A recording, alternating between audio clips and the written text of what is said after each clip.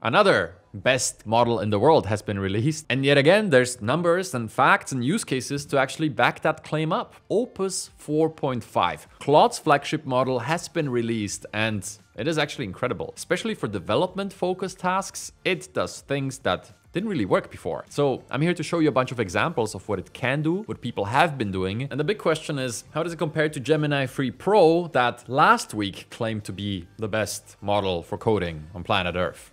There's this funny little picture that I thought captured this oh also accurately. This is where we're at in the cycle. It's Anthropic's turn for introducing the world's most powerful model, and I'm here to tell you if it actually holds up. Let's get into it. So for anybody who's not informed, what are we talking about? Anthropic, one of the main competitors to both OpenAI's ChatGPT and Google's Gemini, came out with their biggest and baddest model, Opus 4.5. It's available now inside of their ChatGPT competitor, Claude.ai, and available through the API. It's also available in their various apps, although we're still waiting on the Claude Code one that should be there shortly for anybody using that application. Now, what's so special about this model and why are they making this big claim that it's the world's best model? Well, it basically completely crushed most benchmarks that matter for development. With standout numbers on things that I actually really care about, like computer use or agentic tool use or agentic coding. Basically all the applications like Claude Code or all the IDEs that use these models will immediately switch over to this because if you're not familiar,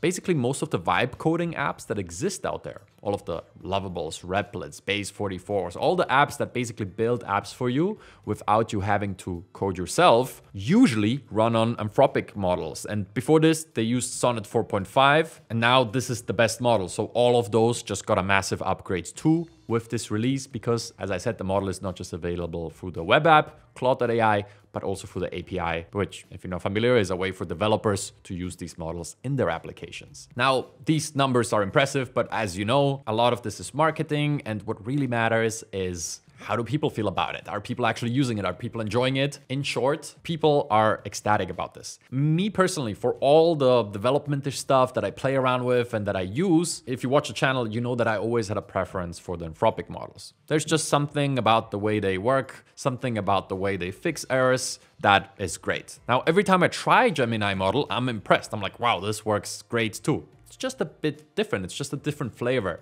But flavor is something subjective. What is objective is not just these benchmarks, but also when you look into the real world and look at what real developers and what all of these applications that build code and build apps for you, what they actually use. I mean, that's the real world use case of these. People putting them to work to save time and to improve their output, or applications using these models under the hood. In that regard, the sentiment across the internet, I can tell you this, I've been following this closely since the day of its release, is extremely positive. I mean, basically the story over the last week went, wow, Google dethroned OpenAI's models and Anthropic's models with their new model. It's incredible. It's really good. And yeah, that was true. I demoed it last Friday. I showed you how it builds front ends. It's really impressive. We didn't go super in depth, but it was an upgrade to almost everything that we've seen before. But now Anthropic came around to take the crown back. And generally the sentiment on the internet is this, that yeah, they actually managed it. So let's have a look at some actual things that you can do and you can try by going to Claude and using Opus 4.5, which is available here.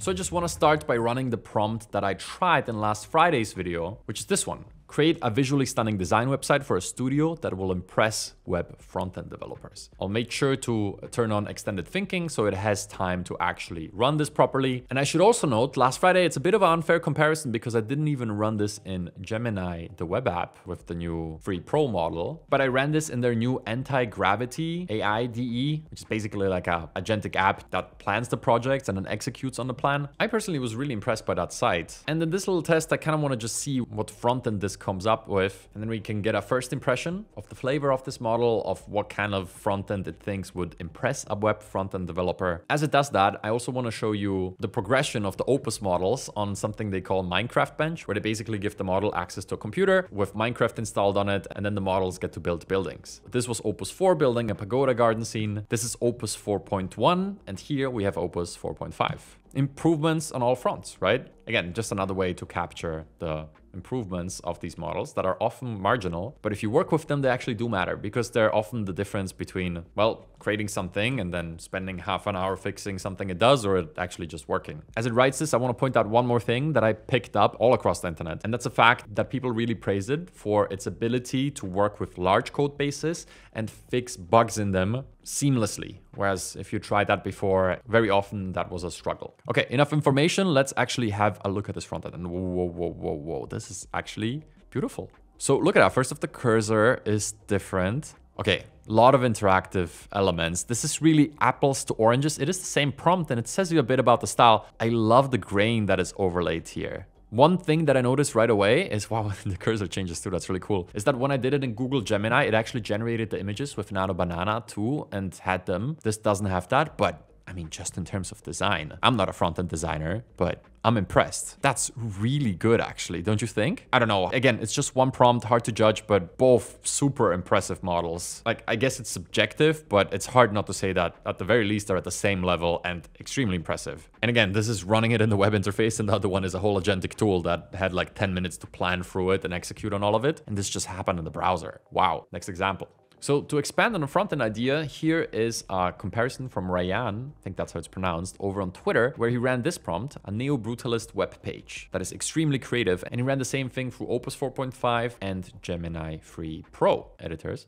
Make your magic happen. Expecto Patronum!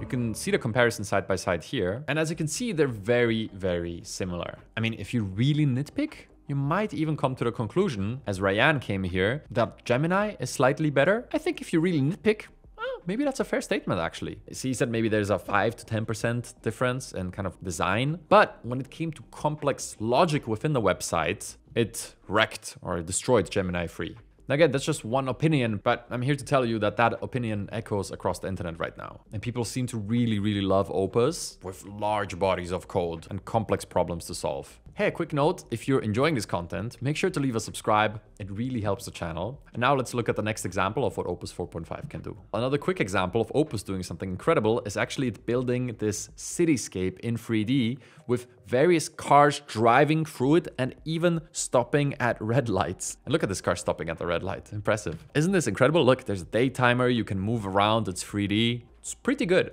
And then there's also a comparison beneath it too of Claude Sonnet 3.7 doing the same thing. And I believe that model came out less than a year ago. And just look at that difference. It's not just the design, it's also kind of the behavior of every single actor there. Not a single car stops at a light. There's not even lights. And then I also want to show you this, where it creates SVGs. And we can actually try this ourselves, but you can see a comparison between Gemini 3 Pro creating SVGs here, and then the same prompts in Opus. I don't know about you, but that's more detailed. It's just better. Let's try this ourselves. Okay, I kind of like this prompt that I just came up with. Create an SVG of the Death Star in the sky above Los Angeles. For anybody not familiar, that is the evil mothership in Star Wars. But honestly, I feel like the viewers of this channel will know that already. Let's see how these two perform. Okay, so Gemini wrote the code, but it cannot display it for me. It's fine. We'll just open some random SVG viewer and look at it. This is what we got from Gemini. Not sure this really looks like Los Angeles. I do get the Death Star over there though. That's good. And this is Opus 4.5, actually viewable in Claude. And yeah, I wouldn't exactly recognize LA here, but it's way more detailed and even the Death Star is more detailed. Look at the shading, the gradients. Again, not a definitive test, but just another way to look at the capability and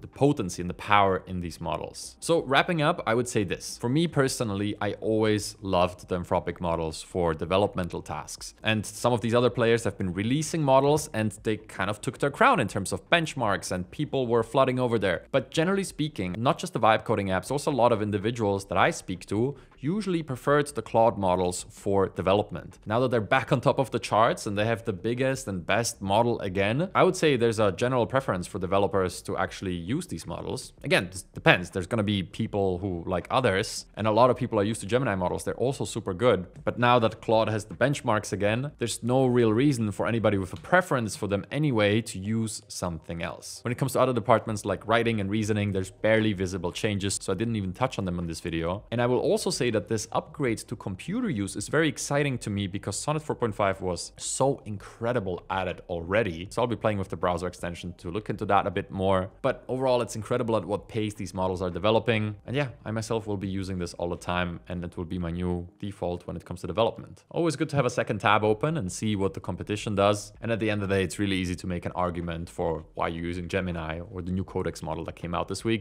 But yeah, they claim to be the best and it is really impressive. And now you know too. All right, my name is Igor and I hope you have a wonderful day.